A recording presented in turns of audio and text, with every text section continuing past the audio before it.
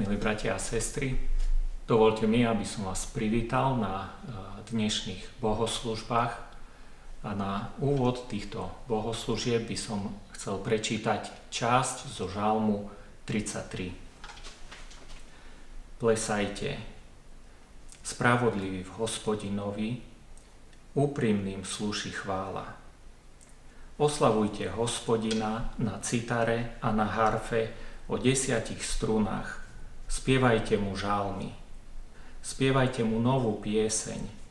Huďte dobre s radostným pokrikom. Lebo slovo hospodinové, hospodinovo je priame a každé jeho dielo je stále. Milujte spravodlivosť a súd – Zem je plná milosti hospodinovej. Slovom hospodinovým učinené sú nebesia a duchom jeho úst všetko ich vojsko. Hromadí vody mora a stavia ich ako hať. Dáva priepasti medzi poklady. Nech sa bojí hospodina celá zem. Nech sa ho strachujú všetci obyvatelia okruhu sveta. Lebo on povedal a stalo sa. On rozkázal a postavilo sa. Hospodin ruší radu národov, na nič obracia myšlienky ľudí. Rada hospodinová stojí na veky, myšlienky jeho srdca z pokolenie na pokolenie. Blahoslavený národ, ktorého je hospodin Bohom. Ľud, ktorý vyvolil sebe za dedictvo. Hospodin hľadí z nebies, vidí všetkých synov človeka. Zo stanovišťa svojho obydlia pozera na všetkých obyvateľov zeme. On, ktorý utvoril srdce ich všetkých dovedna, ktorý rozumie všetkým ich dielam. Tento žálm nám pripomína to, aký je hospodin, čo robí, aké sú jeho diela, jeho moc, jeho milosť a to, ako aj koná pri nás, pri ľuďoch, aj pri svojom ľude. A my si to chceme pripomínať, chceme si to pripomínať zvlášť v týchto časoch, ktoré prežívame. Ale tento žálm nám pripomína aj hneď na začiatku plesajte, oslavujte hospodina, spievajte mu novú pieseň.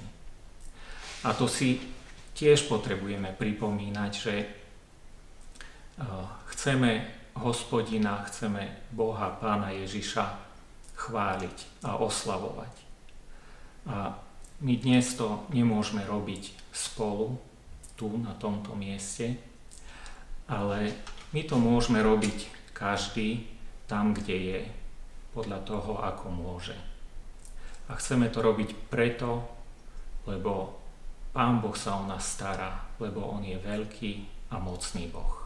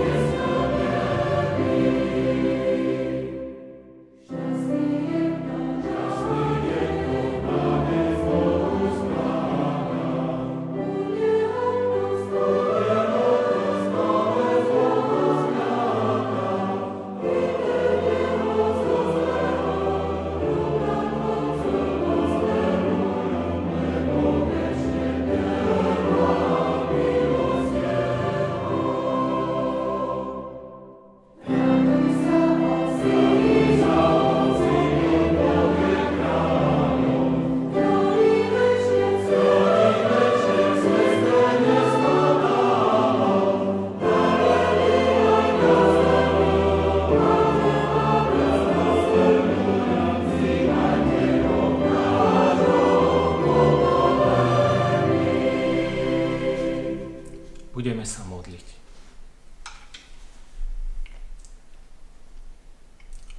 Bože náš, hospodine, Pane náš, Pane Ježišu, chceme aj teraz sa skláňať pred Tebou, chceme Ti ďakovať, chceme ťa chváliť a oslavovať, lebo Ty nám dávaš k tomu mnoho dôvodov.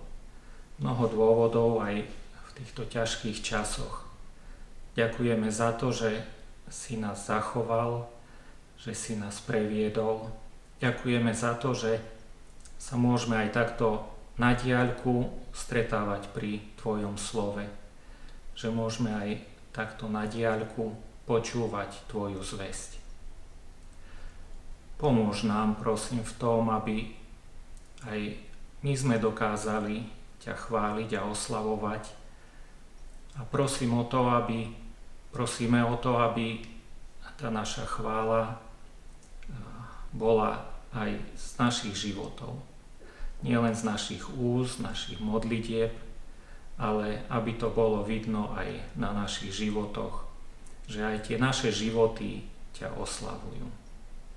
A prosíme o to, aby aj tieto bohoslužby boli na Tvoju chválu.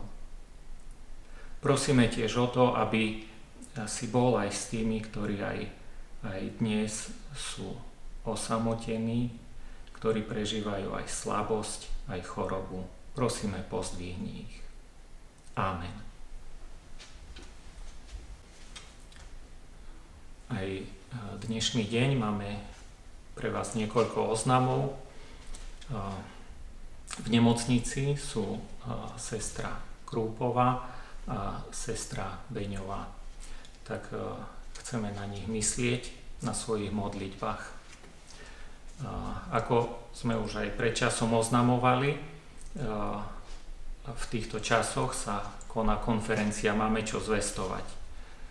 A je to také zvláštne, lebo tá konferencia včera začala, ale keď vy pozeráte toto e, zhromaždenie, tak tá konferencia už včera skončila. To také zvláštne cestovanie v čase. Ale veríme, že to, čo bolo e, tam zvestované, že si Pán Boh použije aj na Božiu slávu, na svoju slávu, aj na rast církvy k zhromaždeniam, ktoré budú budúci týždeň e, v útorok. Bude ako, ako stále čítanie, ale tentokrát to čítanie bude z význania viery Cirkvi Bratskej. Takže to je v útorok. Vo štvrtok bude stretnutie na Zoome. Tam sa môžete prihlásiť ten, kto ešte nebol na tom stretnutí, tak e, je potrebné si nainštalovať Zoom. V nedeľu budú online bohoslužby o 10. hodine, tak ako obvykle. Keby nastali nejaké zmeny, budeme vás včas informovať. Oznám aj pre bratov starších. Staršovstvo bude v útorok o 18. hodine na Zoome. Ďakujem. So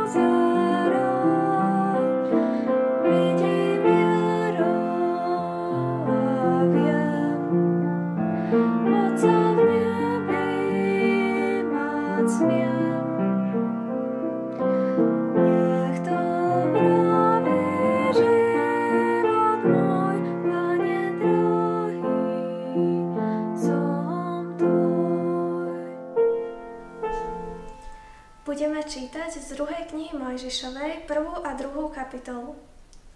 Toto sú mená synov Izraelových, ktorí prišli do Egypta s Jakobom. Každý prišiel so svojím domom. Rúben, Simeon, Lévy a Júda, Izachár, Zabulon a Benjamín, Dán, Naftali, Gát a Aser a bolo všetkých duší, ktoré pošli z bedra Jakobovho, 70 duší a Jozef bol v Egypte. A Jozef zomrel i všetci jeho bratia i celé to pokolenie. A synovia Izraelovi sa plodili a hemžili a množili sa a mocnili prenáramne a naplnená bola nimi zem. Potom povstal nový kráľ nad Egyptom, ktorý neznal Jozefa a povedal svojmu ľudu, hľa ľudu synov Izraelových je viac ako nás a je to mocnejší ľud ako my. Nože, buďme opatrní voči nemu, aby sa príliš nerozmnožil a stalo by sa, keby povstala vojna proti nám, že by sa aj on pridal k tým, ktorí nás nenávidia a bojoval by proti nám a vyšiel by hore zo zeme. Preto postavili nad ním úradníkov, ktorí vyberali dane, aby ho trápili svojimi bremenami. A ľud vystavil faraónovi mesta Skladíš, mesto Pitom a Ramzes. Ale čím viacej ho trápili, tým viacej sa množil a tým viacej sa rozširoval. A hrozili sa synov Izraelových. A egyptiania podrobovali synov Izraelových službu, ukrutne ich utláčajúc.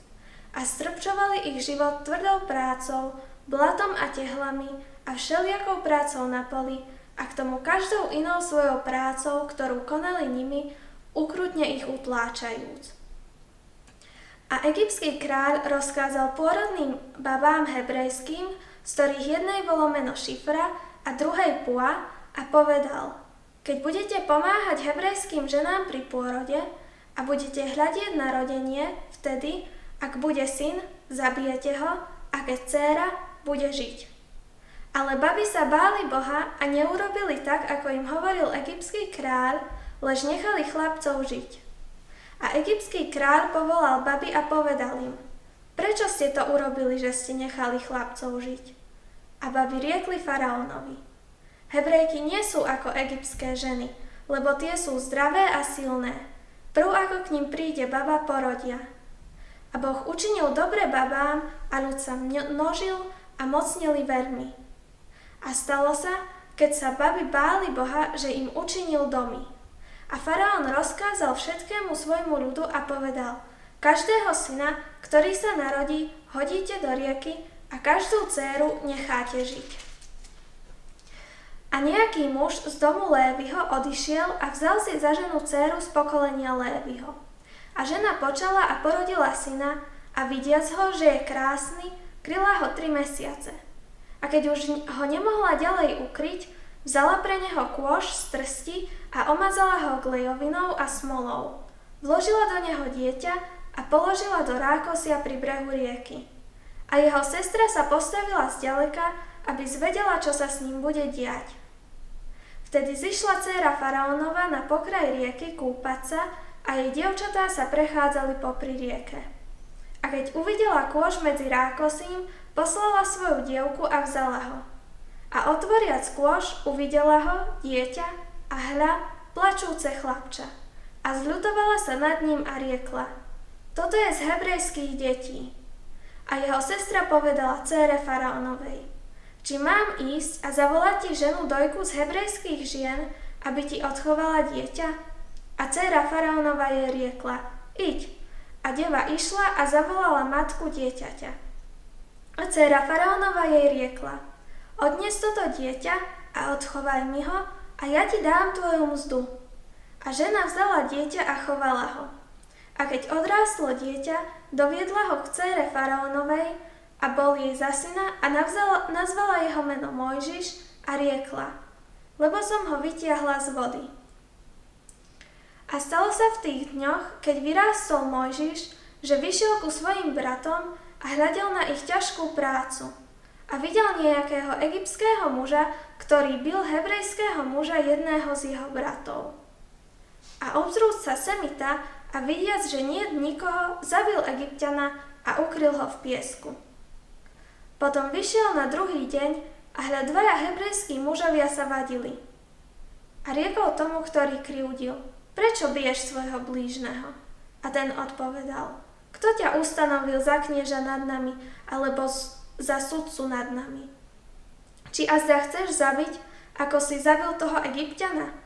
A Mojžiš sa bál a povedal, veď sa istotne vie.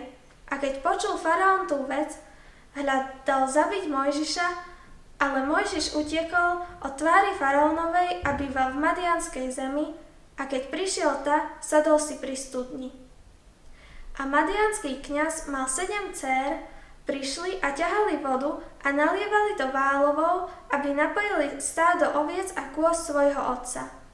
Ale prídúc pastieri odohnali ich. Vtedy vstal Mojžiš a pomohol im a napojil ich stádo.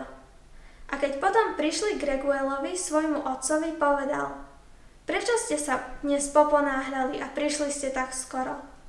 A oni riekli Nejaký egyptian nás vyslobodil z ruky pastierov, ba ešte nám i naťahal vody a napojil stádo.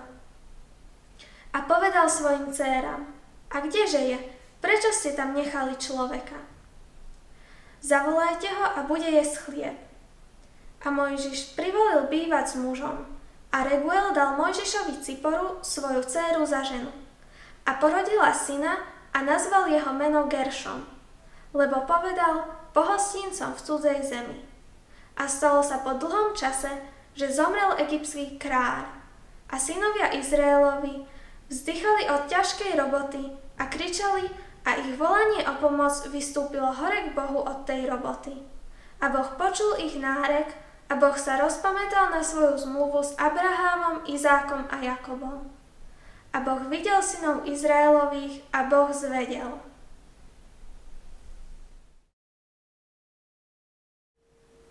Pekný deň, milí bratia, milé sestry a milí priatelia. Som veľmi rád, že spolu môžeme otvárať znova z toho veľkého Božieho príbehu jednu knihu. Knihu Exodus, ktorá hovorí o Bohu ako záchrancovi svojho ľudu. Kniha Exodus sa nazýva knihou výdenia. A dnes sa chcem pozrieť na Božie sľuby a na prípravu Božieho záchrancu. Táto kniha začína menami, zoznamom mien – to je pekný úvod do knihy, nie? Prečo taký úvod? Vedieť meno znamená poznať nositeľa tohto mena. Sme radi, keď nás niekto pozná, keď niekto pozná naše mená? Sme. A ešte o to viac, keď Boh pozná naše meno. Keď spoznávame, že nás má rád a že mu na nás záleží. Aj moje aj tvoje meno je pre Pána Boha dôležité, lebo Pánu Bohu na mne aj na tebe záleží. Naše mená sú zapísané v inej knihe, ako čítame v Božom slove. V knihe milovaného Božieho Syna. V knihe Baránkovej. Tam sú mena tých, ktorý ho zachránil. Tých, ktorí patria k jeho ľudu. Naše mená sú vyrieté na jeho dlaniach. Tu v knihe Exodus máme mena synov Izraelových. Mená Božieho ľudu, starozákonnej církvy. Zoznám slobodných pastierov. Máme tu mena tých, ktorých Boh zachránil a ktorých miluje. On o nich stál. Oni boli pre neho dôležití. Jemu na nich záležalo. On ich pozná osobne, lebo patria mu.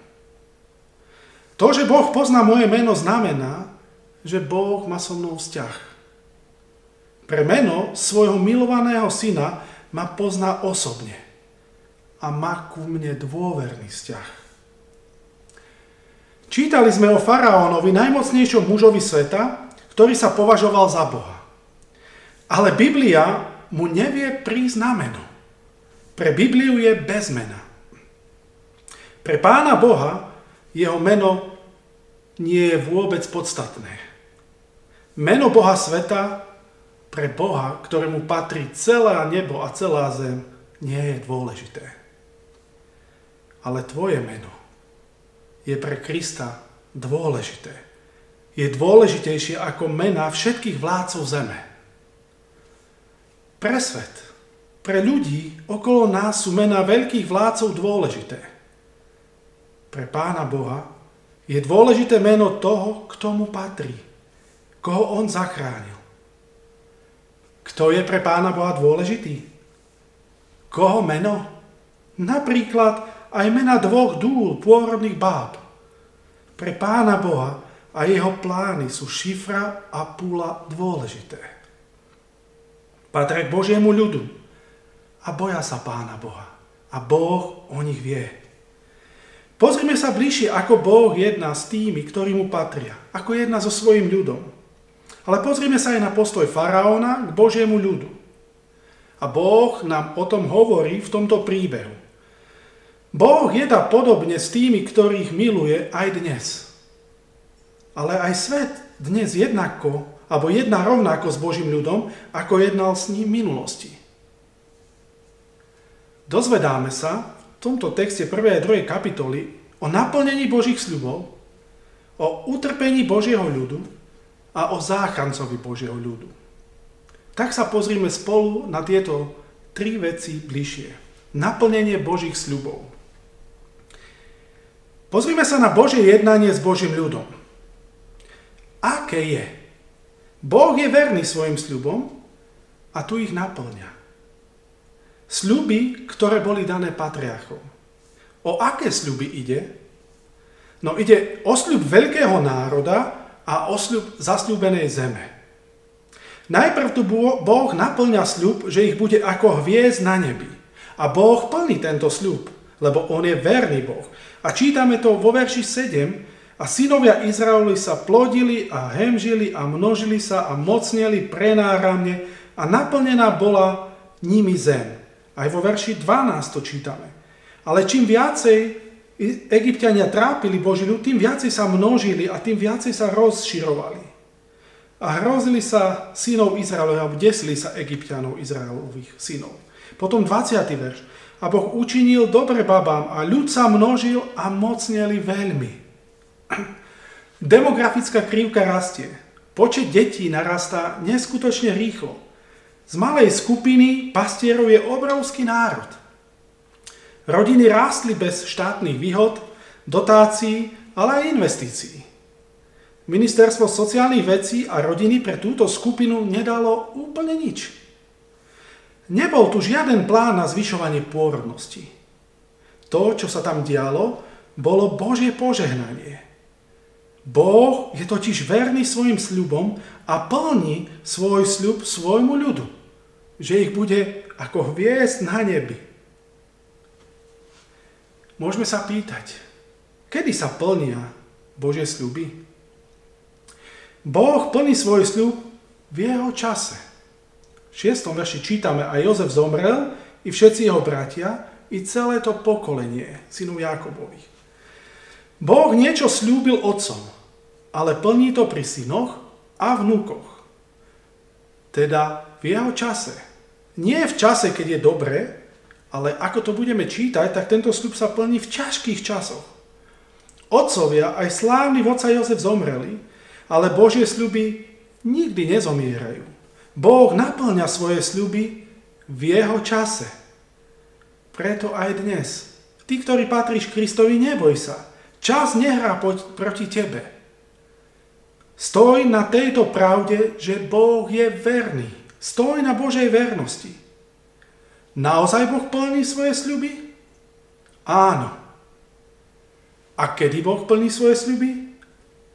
V jeho čase. V tom pravom a najlepšom čase. Boh naplní všetko. Chce to len počkať. Jeho sľuby, ktoré nám dal, sa týkajú života na zemi, ale aj života vo väčšnosti. Bratia a sestry, a všetky tieto sľuby sa naplnia. Ani jeden neostane nenaplnený. Všetko sa splní v pánovi Ježišovi Kristovi, lebo On je verný Boh. Ale ako sa splnia jeho sľuby? No, Božím spôsobom. Môžeme vidieť v tomto príbehu, že Boh je za všetkým. Že On je zvrchovaný Boh. On je za oponou. On má všetko pod kontrolou a všetko v rukách. Nie je faraón, o ktorom tu veľa čítame. O Bohu nemusí byť počuť, ale On všetko riadi. Každý jeden krok. Za tým, že sa ľud množil, je Božia vernosť a jeho plán. Vidíme Božiu vernosť aj my dnes pri nás. Vidíme ju vo všetkom. Vidíme ju v jeho tichom konaní. Pozrime sa. Pozrime sa porieň na to, čo už doteraz Boh všetko pre nás urobil. Vidíme to? Vidíme aj pri nás jeho verné konanie to, že jeho ruka koná? Že sa jeho sľuby plnia? Jeho sľuby sa plnia, lebo on je verný Boh.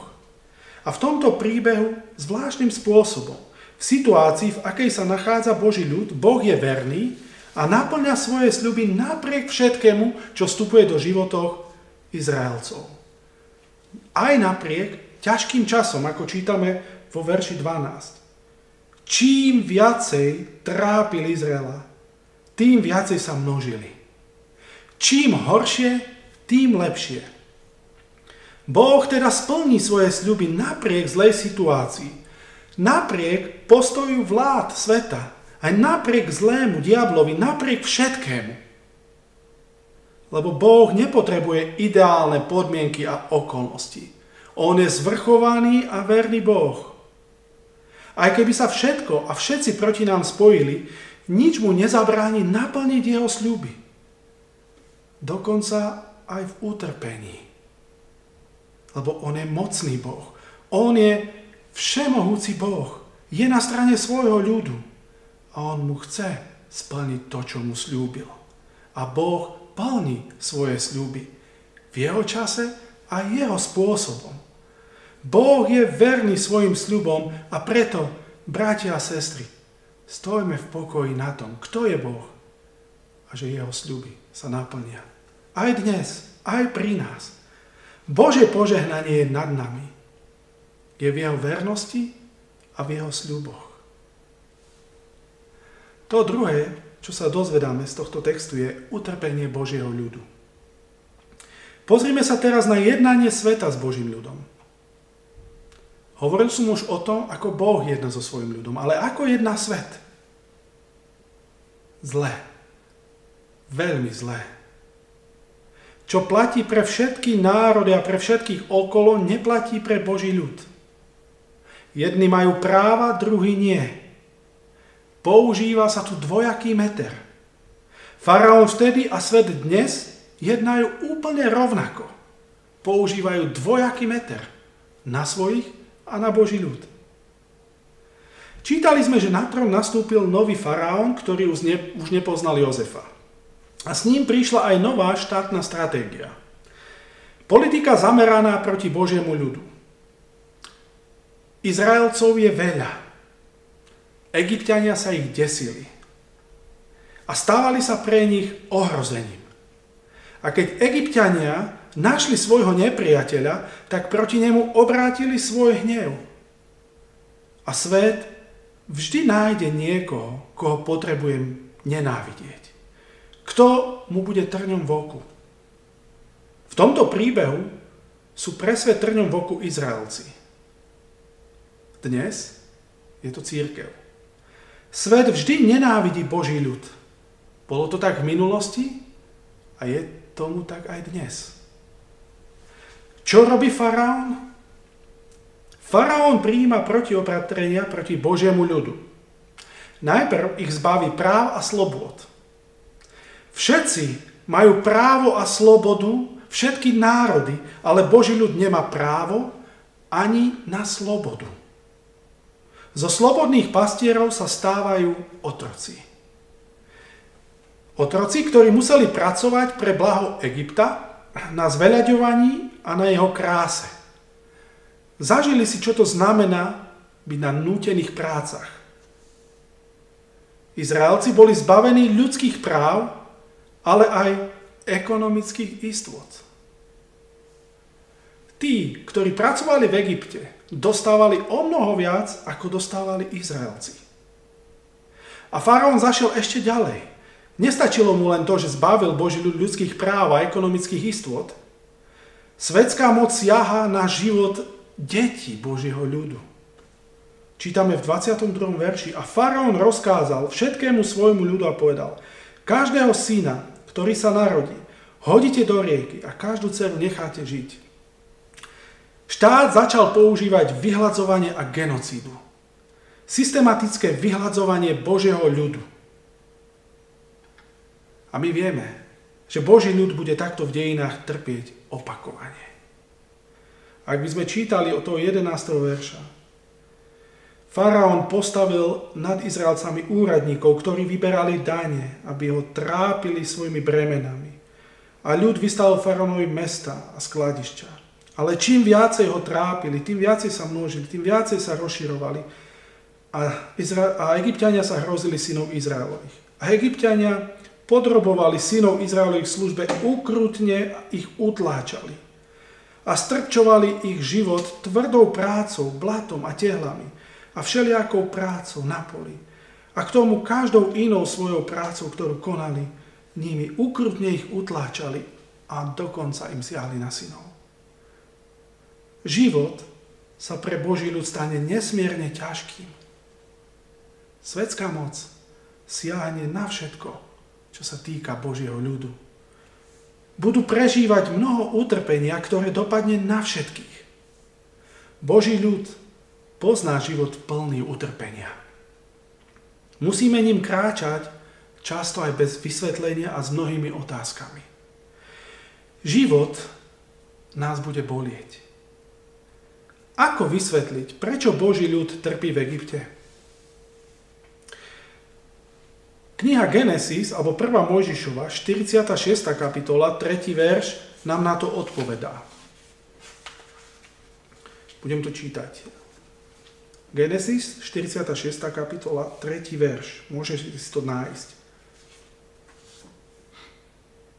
Ja som ten silný Boh, Boh tvojho otca.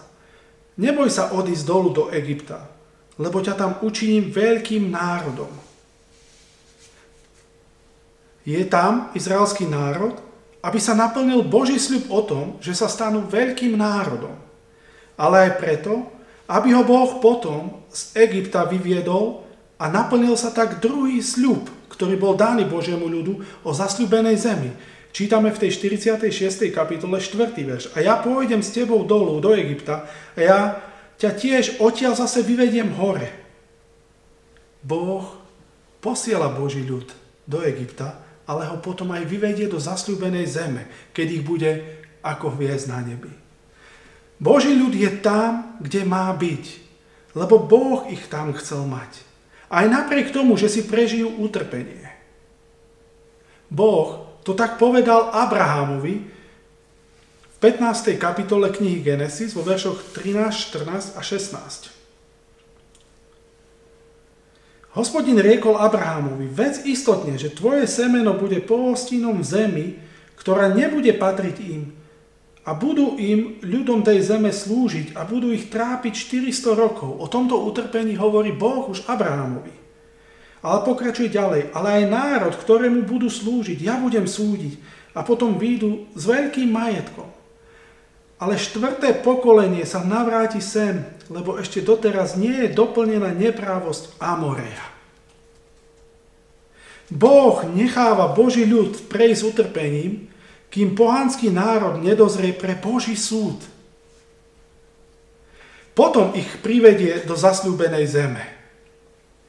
Božia vôľa je utrpenie Božieho ľudu. Prečo? Aby pohania videli Božú trpezlivosť a veľkosť jeho milosti. Boh im dlho zhovieva.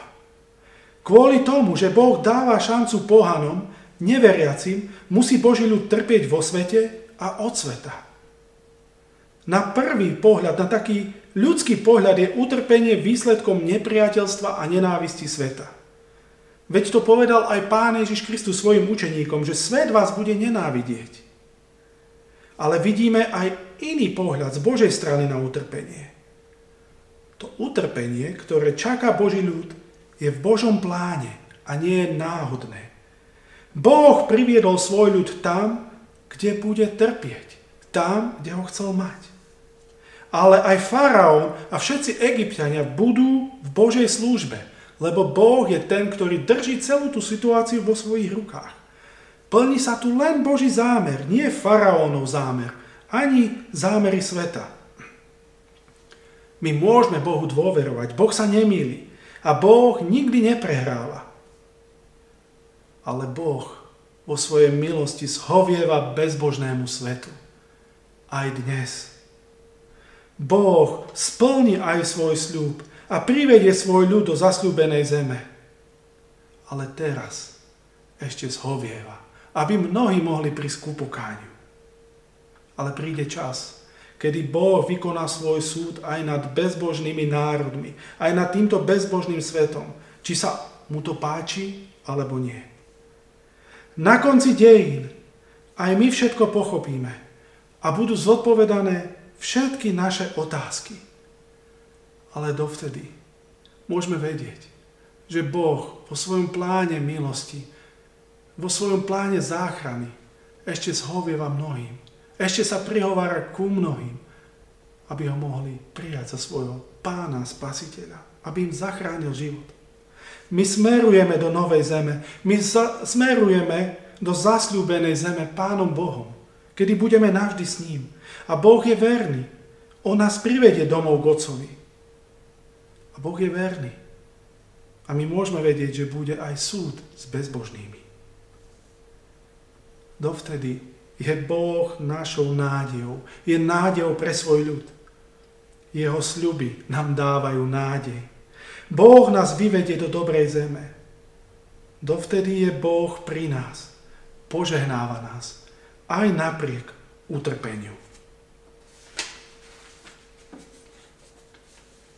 čím viacej ho svet trápil, izraelský národ, tým viacej sa množili. Božie sľuby sa vždy plnia.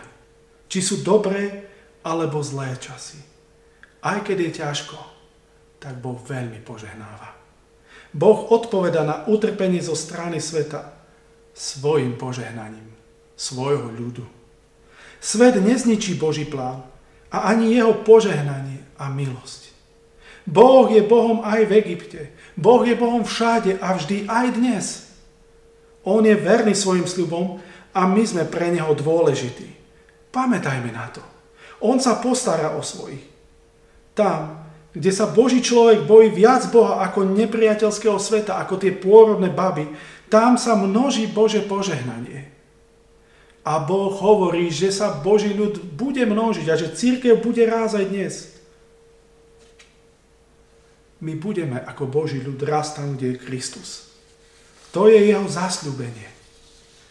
Ale dovtedy sa modlíme, aby Boží ľud rástol napriek utrpeniu, ktoré bude prežívať a uprostred sveta, v ktorom žije. Bohu môžeme veriť, aj keď je ťažko. Boh sa o svoju církev postará. Preto poslúchajme Boha, nie svet. Napriek tomu, že budeme zo strany sveta trpieť, Pán Boh bude svoj ľud žehnať. To je to druhé, čo sme sa dozvedeli z tohto textu o utrpení Božieho ľudu. A to tretie, príprava Božieho záchrancu. Boh vidí. Boh vidí, že potrebuje jeho ľud pomôcť. Záchranu. Boží sľub veľkého národa sa splnil. Boží sľub zasľúbenej zeme je zatiaľ v procese naplňania. Lebo Egypt nie je zasľúbenou zemou. Je to miesto otroctva a utrpenia. Ale Boh už pripravuje svojho záchrancu. Záchranu jeho ľudu, záchranou malého dieťaťa. Ako sme to čítali v tej druhej kapitole, keď Boh zachránil malého Mojžiša. Budúci záchranca je zachránený. Boh má všetko vo svojich rukách. Boží plán nezlyhá a všetko je pripravené do detajlov, lebo On je jediným a skutočným záchrancom Božieho ľudu. A nikto nesiahne ani na Mojžiša a nikto nesiahne na jeho ľud. Všetko a každý je v jeho službe. A to, čo nás pozbudzuje, sú slova, ktoré už znieli aj vtedy posluchačom do uší. Boh vidí utrpenie svojho ľudu. Boh o tom vie. Boh vidí, ako sa ľudia trápia v otroctve hriechu dnes. A Boh má zámer zachrániť. A Boh mal zámer so svojim ľudom aj vtedy. A tým zámerom bola záchrana jeho ľudu. Skôr, ako Boh zachráni svoj ľud, zachránil svojho záchrancu. Raz Boh nezachráni svojho syna, aby zachránil nás. Mojžiš bol zachránený, ale Kristus bol darovaný pre našu záchranu. A Mojžiš, ako sme čítali, sa dostáva do rodiny faraóna. Aký obrovský paradox. Ten, ktorý mu siahal na život, sa stal teraz tým, v ktorého dome Mojžiš žil. Boh pripravuje záchrancu v srdci Egypta. Na kráľovskom dvore ako adoptovaného syna faraónovej céry. Ale ako sme čítali ten text celý, Boh pripravuje svojho záchrancu aj vo vyhnanstve v zemi ako pastiera. Pastier oviec sa stane nakoniec pastierom Božieho ľudu. Boh mal Mojžiša vždy presne tam, kde ho chcel mať. Plnia sa jeho plány, napriek tomu, že plány sveta faraóna boli iné. Tam, kde chcel faraón vraždiť, Boh si pripravoval v centre jeho krajiny, v jeho dome, záchranu svojho ľudu. Narodení Mojžiša prišiel na svet budúci záchranca Božieho ľudu. Božím plánom je oslobodenie otrokov zo zajatia. A všetko vyzerá nádejne. Ale to, čo sa najprv javilo ako nádej na záchranu z pohľadu na človeka, veď máme svojho na správnom mieste, zlyhalo, keď Mojžiš zobral veci do svojich vlastných rúk. A preto aj my dnes pamätajme na dve veci. Že našou jedinou nádejou je Boh, nie človek. Boh je záchrancom, nie človek. A pamätajme aj na to, že veci nemôžeme brať do svojich rúk, ale nechať ich v Božích rukách. Boh plní svoje sľuby vo svojom čase a jeho spôsobom. Záchranca skončil vo vyhnanstve. Ale Boží plán záchrany nezlyhal napriek tomu, čo Mojžiš urobil. Lebo Boh sám je režisérom našej záchrany. Preto aj dnes všetko zo svojich rúk dávajme do tých Božích rúk. Lebo ak budeme brať veci do svojich rúk, tak to nedopadne dobre. Preto aj nádejný záchranca musí ešte do Božej školy vo vyhnanstve. Naučiť sa, že Boh zachraňuje a On je len jeho nástrojom záchrany. Keď Boh vstúpi na scénu, tak sa zrodí práva nádej.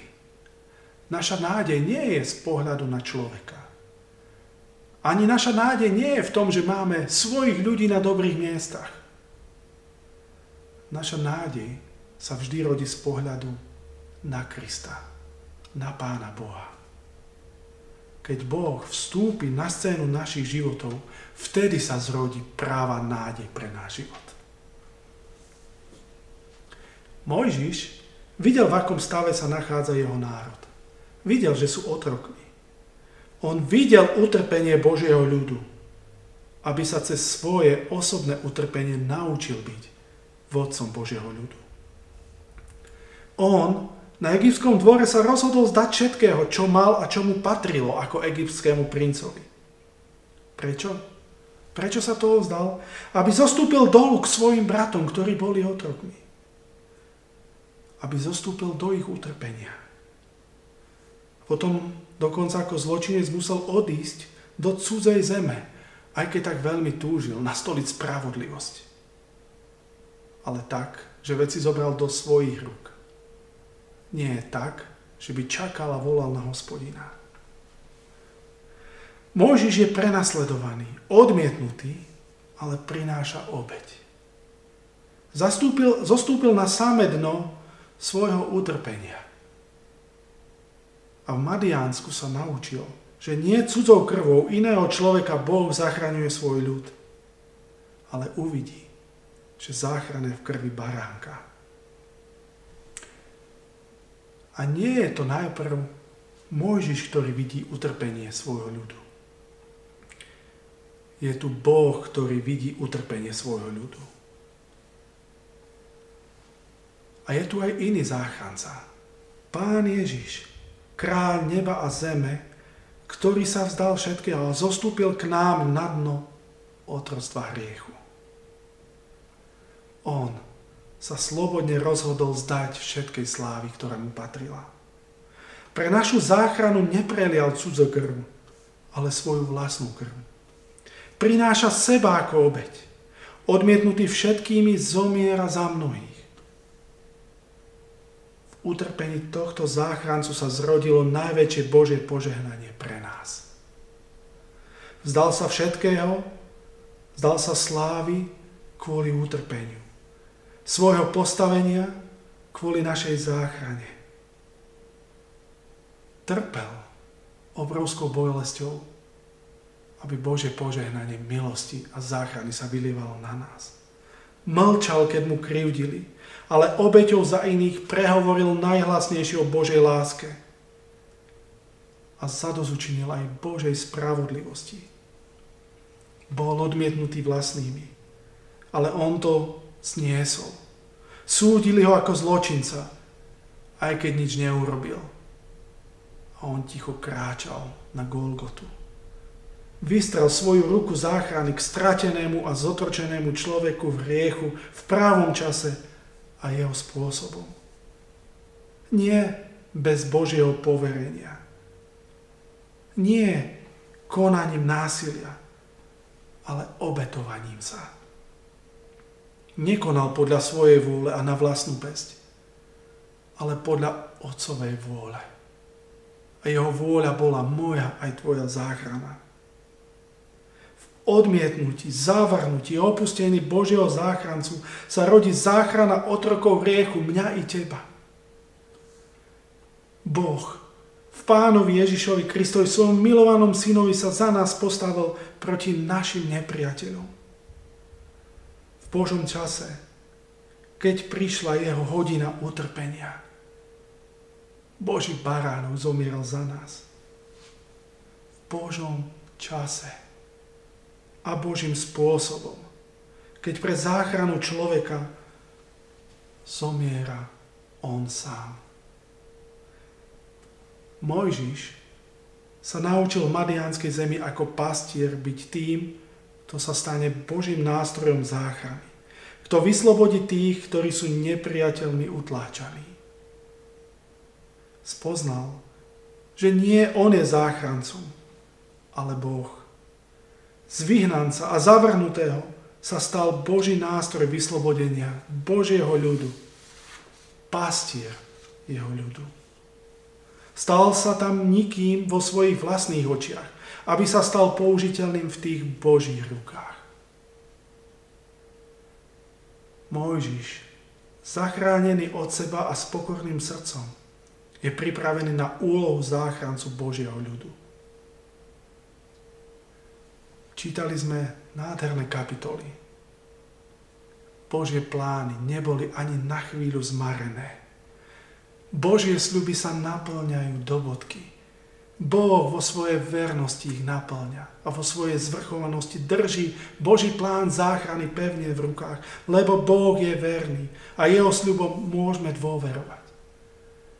Boh si pripravil toho najlepšieho záchrancu, ktorý prelial svoju vlastnú krv, aby nás vyviedol z otrstva hriechu do slobody synov Božích. Amen. Budem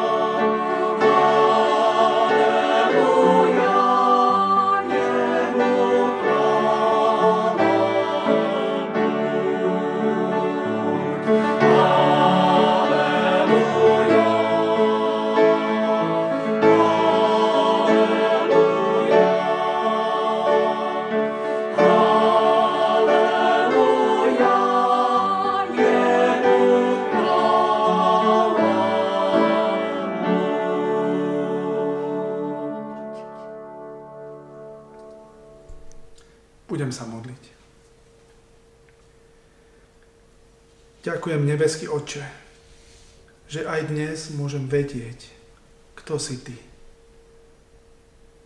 Ďakujem, že Ty si verný Boh. Si verný svojim sľubom, ktoré si dal.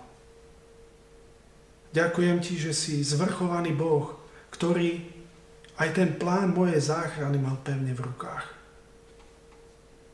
Ďakujem, že si milostivý Boh, ktorý sa zmiloval aj nado mnou, keď som bol otrokom hriechu. Chcem ti poďakovať, že si daroval to najvzácnejšie pre moju záchranu. Svojho milovaného syna, ako tvojho baránka, ktorého krv tiekla aj pre moje hriechy. Ďakujem ti, že dnes ti môžem patriť. Ďakujem ti, že poznáš aj moje meno a že, tvo, a že moje meno je vyrité na dlaniach, ktoré krvácali aj za mňa. A ďakujem ti, že to tvoje meno Ježíš je vyrité na mojom srdci, lebo si tým najvzácnejším aj pre mňa dnes. Ďakujem ti, že ako Boží ľud nie sme bezmenné spoločenstvo. Nosíme to najkrajšie meno, Kristovo meno, Ďakujem, že sme Kristovcami kvôli tomu, kto si Ty a čo si pre nás urobil. Prosím, aby Tvoja milosť bola s nami aj v ďalších dňoch. Možno budeme ešte mnoho trpieť, ale ďakujeme, že Ty pôjdeš s nami. Daj nám aj chápať to, že mnoho vecí dovolíš preto, aby si ešte mnohých zachránil. Lebo také je Tvoje srdce milujúce a milostivé, ktoré krváca preto, lebo ešte mnohí ťa nepoznajú. Zmiluj sa, Pane Ježišu, ešte nad mnohými aj v našom meste, aby ešte aj mnohí boli súčasťou Tvojho ľudu vyvedení z otrostva hriechu a aby sme mohli spolu doputovať k Tebe, do väčšnosti, do tej zasľúbenej zeme, kde budeme navždy s Tebou. Tak ďakujeme Bože, že aj dnes si nám dal náhľadnúť do toho, kto si.